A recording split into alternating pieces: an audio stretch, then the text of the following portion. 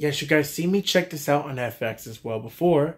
Now I'm showing you guys the movie's opening logos. So yeah.